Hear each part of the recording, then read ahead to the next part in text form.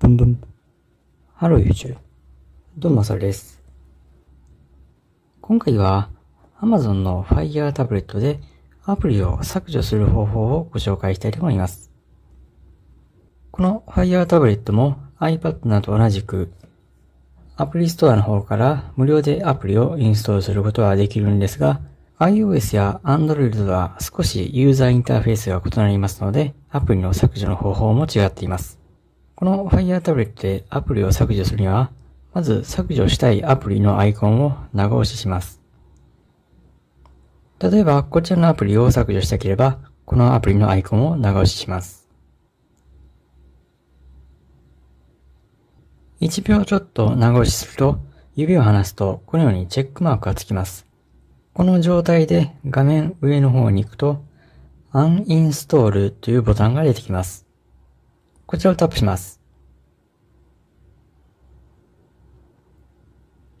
Uninstall しますかというメッセージが出ますので、特に消してもいい場合は OK をタップします。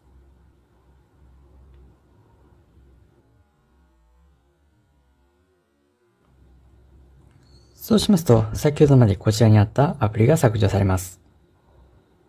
無料のアプリも多数インストールすることはできるんですが、使わないアプリが多くなってしまうと、ストレージ容量が無駄に消費されてしまいますし、また本体自体の動作も重くなってしまいます。ですので、今回ご紹介した方法で使わないアプリは積極的に削除しておくことをお勧めします。ということで今回は Fire タブレットでアプリを削除する方法をご紹介しました。また、この Fire タブレットについて、いろいろと使い方など、便利な機能を別の動画にてご紹介したいと思います。なお、現在 Amazon で販売されている Fire タブレット販売ページのリンクについては動画の概要欄の方に貼っておきます。